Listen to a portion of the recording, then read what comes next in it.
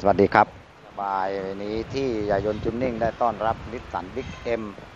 เดินทางมาจากจังหวัดสุพรรณบุรีนะครับ มาร่วมโครงการ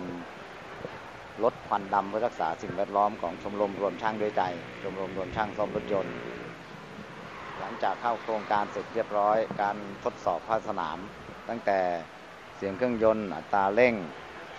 การเข้าเกียร์ แล้วก็ เสียงในห้องเก๋งเป็นอย่างไร เจ้าของรถจะเล่าสู่กันฟังนะครับ สวัสดีครับ สวัสดีครับ แนะนำตัวเองนะครับเออสนมสุขสวัสดิ์ครับผมมาจากสุพรรณครับ สุพรรณรถคันนี้เดิมทีเป็นยังไงฮะก็ออกตัวไม่ค่อย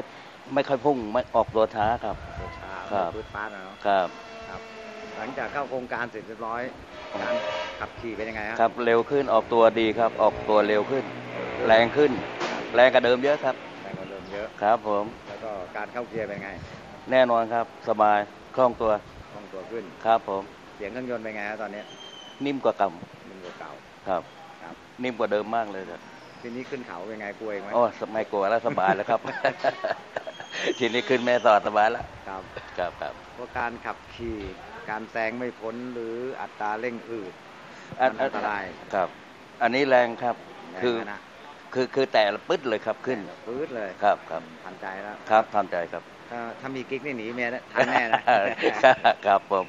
ครับอ้าวครับขอบคุณครับก่อนกลับบ้านอยาครักบฝากอะไรถึงสมาชิกที่ใช้บิ๊กเอ็มฝาแดงเหมือนก็เราบ้างก็ก็อยากให้มาที่ว่าล้างหัวฉีดกับที่ร้านนี้ครับแน่นอนร้อยเปอร์เซ็นต์ครับผมครับครับผมครับครับขอบคุณครับขอให้เดินทางปลอดภัยครับครับครับครับสวัสดีครับครับ